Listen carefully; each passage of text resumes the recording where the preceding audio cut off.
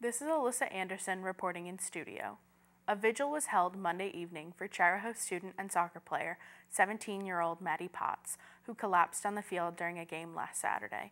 She was taken to Hasbro Children's Hospital, where she died later that day. Medical officials have said that the teen's death was unrelated to the game. Soccer did not take her life, said Stephanie Potts, the girl's mother. She left her soul on that 30 yard line. About 1,000 people showed up to the vigil held at the soccer field at Chariho High School to pay their respects and honor her memory. Her friends, family, and other loved ones spoke fondly of her. Hundreds of athletes from around the state also showed up in a display of sportsmanship and to remember a good team captain and a great team player. Chariho Superintendent Barry Ricci says that Maddie's death was unforeseen and tragic, and that the entire community is having a hard time coping with the loss.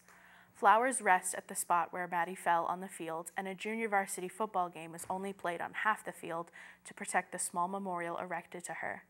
Reporting in the studio, this is Alyssa Anderson.